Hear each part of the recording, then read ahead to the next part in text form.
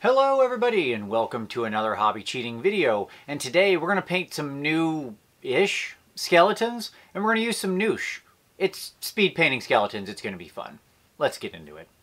Uh, the strict technomancer that is Vincey V. Let us get to the technique and learn it Vincey V style. Long-time viewers of the channel will know that I have a very large Tomb King's army. In fact, I spent years back during Warhammer Fantasy uh, painting up just immense amounts of Tomb Kings. I think I had something like 13,000 points uh, when Warhammer Fantasy came to a close. I just, I loved everything about them. I had bought Tomb Kings initially when they came out in 2004. So I have lots of skeletons and archers. I have a ton of sphinxes, more Ushabti than maybe anybody. I don't know.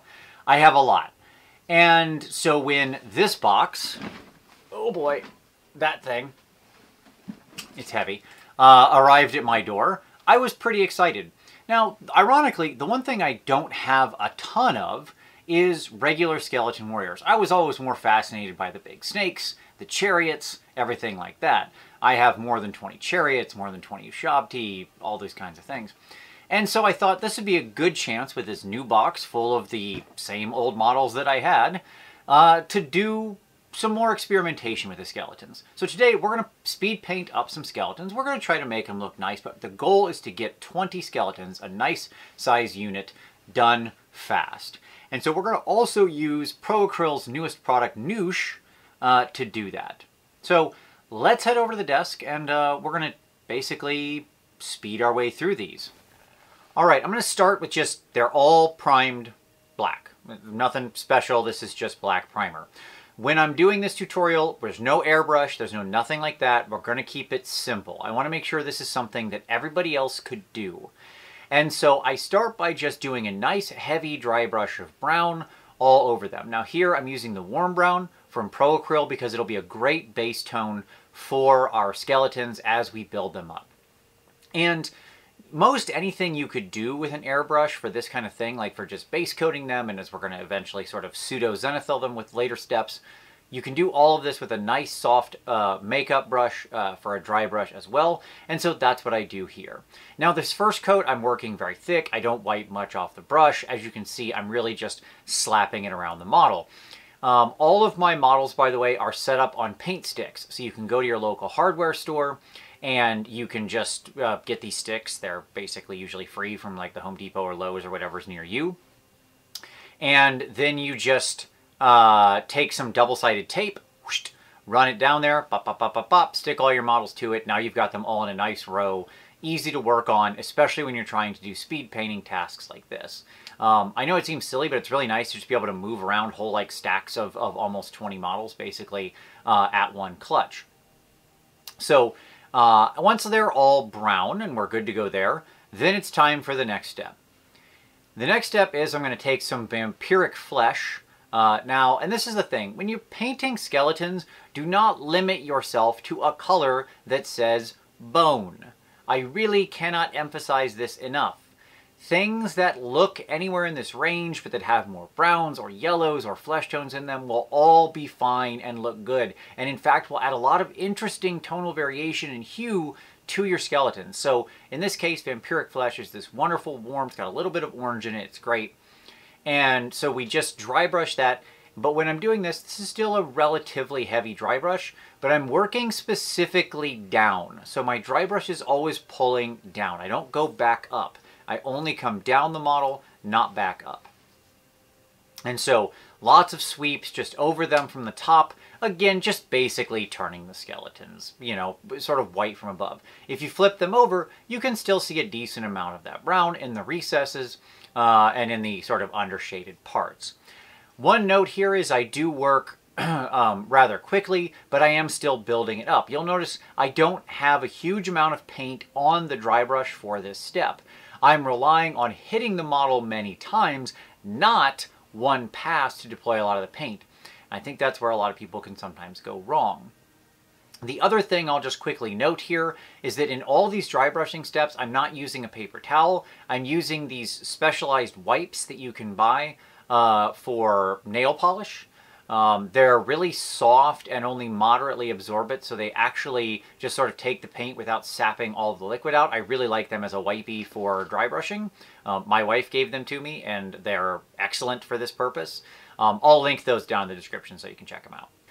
Once that step is done, that then brings us to uh, basically uh, a, a, a, closer to white, very light dry brush. So here I'm using off-white, and I just give them a very light touch, focusing really mostly on above. So this is their heads, their shoulders, their arms, the kneecaps, that when their, their knees are jutting out a lot. I don't know why these guys are always, they're always just like hot stepping like they're in the middle of a jazz routine. Um, but basically those very raised areas. With all that done, now we've got some skeletons. They look fine, but we can go a step farther because they still look a little rough. There's still too much a little of that dark brown black from the primer still showing through in a lot of areas. We want to give them a nice coat uh, of actual tone, some warmth. These are meant to be skeletons in the desert, by the way. So now we're going to do some newsh. All right, so the newsh. Uh, this is a new product from ProAcryl, and it's basically a uh, meant to replace a, a sort of medium that it very much extends working time. It is uh, not really like a very runny substance. It's a little bit more like a thick medium. And I'm going to mix it here. I started 3 to 1, but I actually found the right ratio was 4 to 1. So I'm going to mix it again with the warm brown, the original. But that warm brown is going to function differently when put over the whites that I've dry brushed as opposed to the original black of my primer and it's going to create a nice, nicer gradient, especially down in the recesses and the shadows. So I mix basically the paint to the newsh at a uh, four drops of newsh to one drop of paint, and then you clench because we're just going to slap it on there. And so I just coat this bad boy in this uh, in this sort of newsh paint mix, and you can see it looks like I just ruined all of my good work, uh, but I didn't. I then take some makeup sponges and simply wipe it away. Now, I let it sit. I experimented with how long to let it sit to get the effect. And I found at the 4 to 1 ratio, I wanted it to sit for basically no more than about a minute, maybe two minutes at most. And I found that was a pretty good amount of time. Now, the more newsh you mix in, the longer the working time will be. And even uh, this, I'm wiping this away with a dry makeup sponge at the moment and I can pull most of it off. Really the biggest problem is actually getting in some of the tight spaces on some of these models. If I was working on like a Space Marine or something where it's much more open and exposed, it would be a lot easier. But uh, here I found it was really easy to just get in there and wipe it away with the dry thing. When I moved to working on all the guys on the stick, I did five at a time and then wiped them and then five at a time and then wiped them and five at a time and then wiped them and so on. And I found that was a good, sort of, a, that gave me a naturally correct working time. I'll also note with the Newsh that not only can you get this nice clean wipe away, and then as you're wiping it, you do, um, if you let it dry that about a minute or so, you get this really nice gradient down to where the paint remains. It actually gives you a pretty smooth transition down in there if wiped correctly. But if you have any rough transitions, I was also able to go in with the brush, just a wet brush. So I just go in with a wet large brush and I can then clean other places up. Streak it down, take it out, remove it, wipe the brush on something, get it wet again, wipe away. I found that working time was more in like the 5 to 10 minute range. I could do that with a wet brush. Uh, so it's still got, I still got quite a bit of, of working time out of that. Um, there, like, you couldn't dry uh, wipe it away anymore, but now you could just use the uh, the wet brush and we were good to go. Um, so all in all, I think the Newsh, and this really isn't meant to be a uh, full Newsh review, um, you know, we'll probably talk about it some more in future videos as I'm going to continue experimenting with it, but I thought I'd let you join me on the experimentation and we'd speed paint some skeletons at the same time. Um, but all in all, I really liked it. It had a nice effect. I'm keen to play with it some more. And I think it really could replace Streaking Grime or something similar uh, without working with any kind of toxic, harsh, stinky chemicals. So that's actually really cool and got me pretty excited. Alright, so now it's time to just finish these bad boys out. Um, with most of the bone done, and I built these skeletons as kind of the simplest I could to minimize additional uh, non-sensory and doodads and bajangles and things. Uh, so, you know, I, I, like to keep it easy. Um, but I did go back in and I gave it a light dry brush of, again, the Vampiric Flesh plus a little of the Off-White, so kind of a 50-50 mix of the two. Again, just focusing on really like the top of the head, the shoulders, knuckles, things like that, just to make sure that um, that all those areas were picked out and there was some brightness to the edge of it. What I did see with the Newsh is just like with Streaking Grime, and this is true for oil washes, this is true for enamel uh, paints, this is true for working with the Newsh. The lighter the color you're working over, the more likely there is to be some kind of staining effect, just because you can't wipe everything away at the molecular level. Some amount of paint is going to seep into the, the chemical substrate of the, the lower level of paint. But this just gave it a little bit more pop. Uh, once that was done, then it was time to turn to the other areas. Uh, the when I originally did my Tomb King's army, I was using I think like Vallejo turquoise basically, but now in the modern age we have contrast paints. Specifically, we have Akhelian green, which I'm neither working on anything to do with Idoneth nor anything is this paint green. It's a blue. It's a blue turquoisey color, uh, and I love it. And it's basically a perfect match.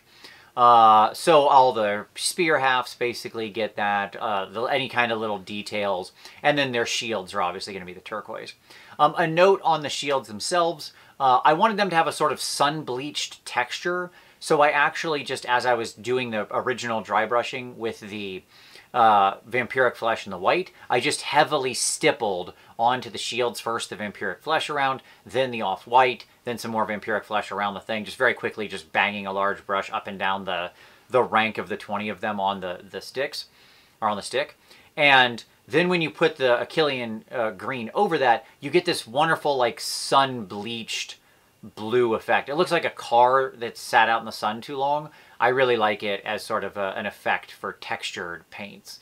You'll see how it all looks in the end uh, when it all comes together. I then used some gold. Now, when I had done these guys originally, I used Vallejo Liquid Gold, so I actually did the same thing here, just to keep them consistent with my original uh, paint scheme, as it were. Um, Vallejo Liquid Gold, as uh, Goobertown Hobbies recently pointed out, is really interesting because unlike most paints, it's not using a dye, it's using aluminum uh, pigment, but also copper and zinc pigment. So it's not using a dye to change anything. I don't really think there's anodization of the aluminum there. It's just using the combination of those three hyper finely ground pigments in an uh, alcohol-based suspension to create that sheen of fine metal. So it is a really interesting color, and I have to say, I, uh, you know, liquid gold is a real giant pain to work with, and God did I run into that again. I really hate this paint because it dries so fast, it gets gummy instantly, you can't use water, you have to use alcohol. But it does produce a unique effect, I will completely give it that. With that step done, there's just a little bit of final cleanup and things like that. Um, so this is going back in with some of the vampiric flesh or the white, hitting some of those things. I took some uh, Grishnak's sewer and hit some of the torn pieces on the shield or the deep slices, uh, things like that. Uh, and then, of course, doing the desert bases up, which was just sand and then washed and dry brushed. Uh, but all in all, these guys came together in about three hours of working time. So not bad. A full unit of 20 dudes. Uh, I don't know how many points they're worth. Not enough, um, but that's okay. Uh, and so I was happy to get this unit on the table. And uh, yeah, that, like Basically, with those simple steps and less than three hours, I had a full unit of 20 ready to go. Let's take a look at the unit. Here they are. I mean, I really think they came out pretty fun and cool for being less than three hours of work on 20 models. That's really not too bad. Um, you know, I had 180 minutes roughly in that time period.